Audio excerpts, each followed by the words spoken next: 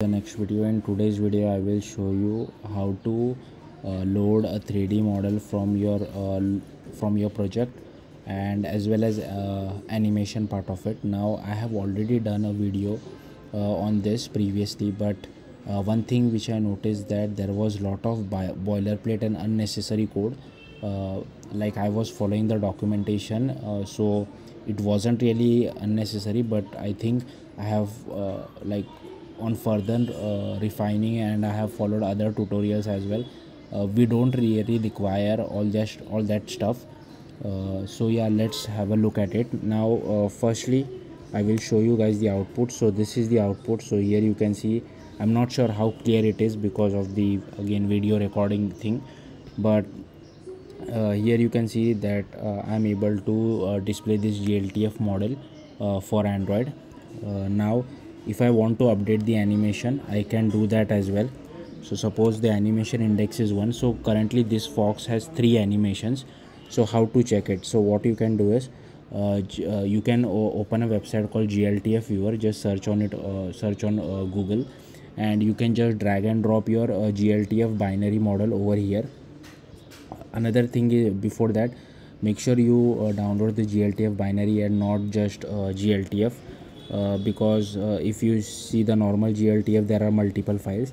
Again there are like online resources which help you to convert uh, like normal gltf format to gltf binary. And if you want to download this model you can just visit this Khronos group gltf sample models 2.0 uh, and just download any gltf uh, binary model.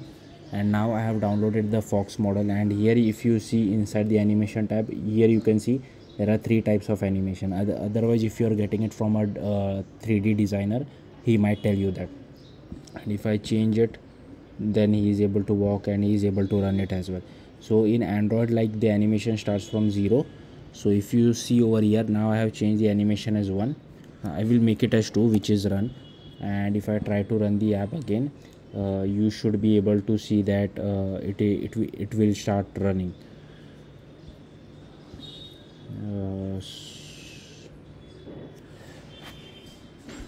so yeah here you can see that it it has started running. Again i'm not sure how clear it is because again uh, like on my uh, real device it is running at 60 fps so no issues as such. But uh, yeah let's get started. Like like um, i have told you previously in this video we will be loading it from our project itself and i will make another video of how to load it from network. Uh, so what you will have to do is create a native android project and inside that first go to activity underscore main and i have just taken one surface view and it occupies the entire width and height. Next inside android manifest uh, no changes as such. Next you will have to create an assets folder and inside that you will have to draw drag and drop your glb file. So here you can see i have dragged and dropped that fox.glb now there are two more files which you will have to drag and drop.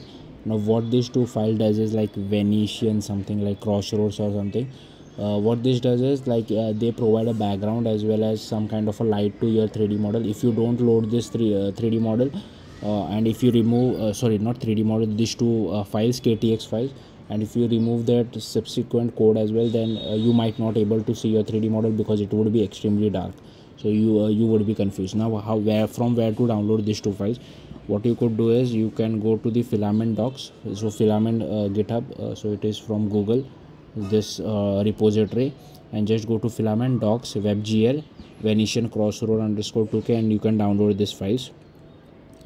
So i have downloaded these two files. Next uh, inside build.gradle.kts so here you will have to add this filament dependencies. Uh, you don't require retrofit. And I think we don't require this as well. Let me see. Uh,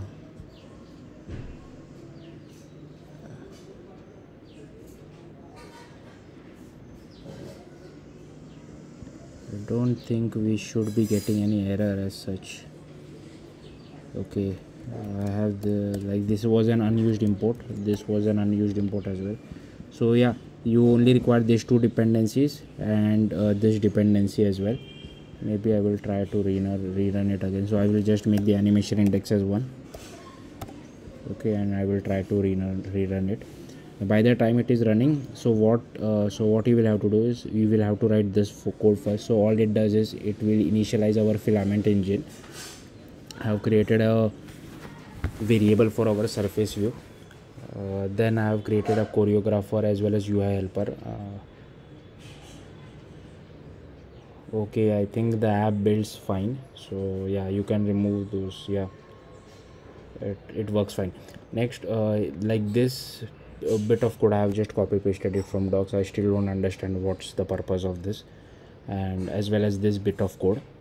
Uh, here we are initializing our surface view. Next here we are initializing a choreographer ui helper as well as our model viewer. And I have added some touch listener to our surface view as well. So you can zoom in and zoom out your uh, GLTF model as well. Next we are calling these three methods create renderable, create indirect light as well as configure viewer. Next we are setting again this is like boilerplate code which I have just copied from docs. Even I am not sure exactly what it does. Okay so I will just simply scroll through this. Like I'm not going to pretend uh, to be an expert on something which I don't know. So it's better to be honest about it.